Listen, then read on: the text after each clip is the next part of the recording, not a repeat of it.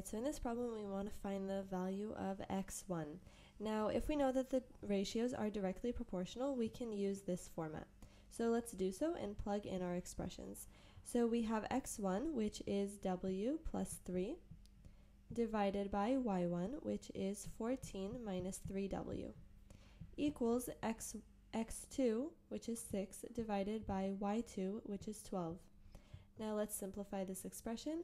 Our first fraction we cannot simplify, so we will rewrite it.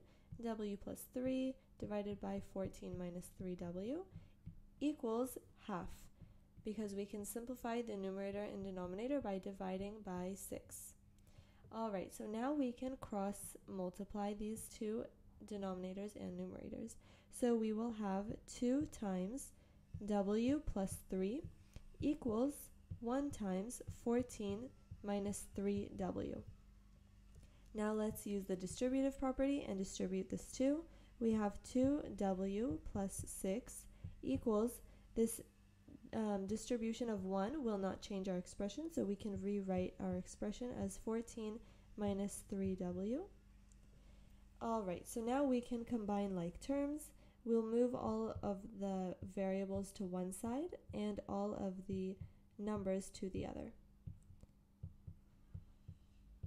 Okay, so now we are left with 5w equals 8. Now if we want to isolate w, we'll divide 5 on both sides, and we will get 8 over 5. Now if we turn this into mixed terms, we'll ask ourselves how many times does 5 go into 8, and that is once, with 3 left over out of 5. Now let's take our value for w and plug it into our expression x1 to find the, the entire value of x1. So x1 equals w, and instead of w, we'll write 1 and 3 fifths plus 3.